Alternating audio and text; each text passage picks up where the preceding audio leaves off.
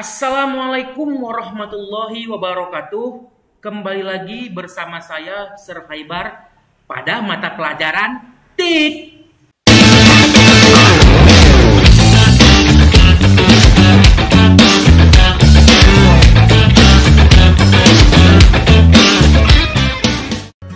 Nah, sebelumnya apa sih software untuk menggambar di komputer itu? Yaitu sebuah aplikasi yang digunakan untuk membuat gambar atau mengedit gambar dengan mudah. Nah, contoh yang paling sederhana yaitu Microsoft Paint. Yang kedua yaitu TuxPaint. Dan yang ketiga yaitu Photoshop. Nah,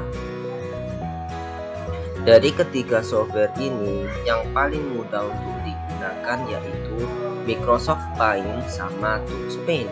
Nah, apa sih Microsoft Paint itu?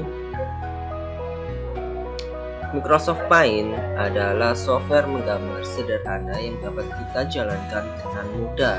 Aplikasi ini sudah terinstal secara otomatis di komputer kita, jadi kita tidak perlu repot-repot untuk menginstalnya lagi.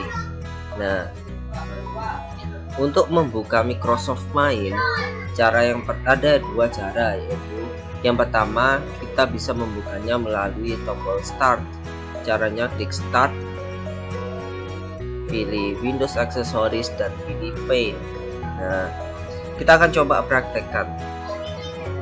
Nah, ini adalah tampilan desktop dari sebuah komputer atau laptop. Cara membuka Microsoft Paint-nya, kita pilih di Start. Start ada di bagian paling bawah. Kemudian kita cari Windows Accessories ada di bagian bawah.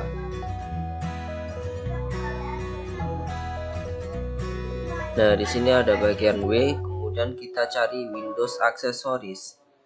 Kita klik, kita pilih Microsoft Paint. Nah, di sini ada Paint, kita klik.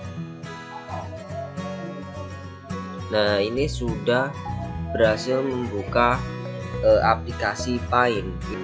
Kemudian cara yang kedua yaitu kita mengetik dua kali di icon uh, desktop.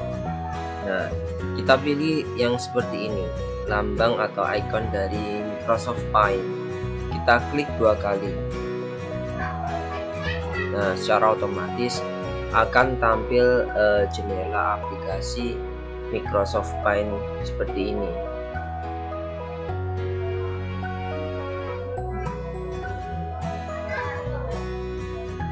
Di Microsoft Paint ini kita bisa membuat berbagai macam uh, gambar dengan mudah. Nah, seperti ini. Kemudian untuk memberi warnanya seperti ini. Nah.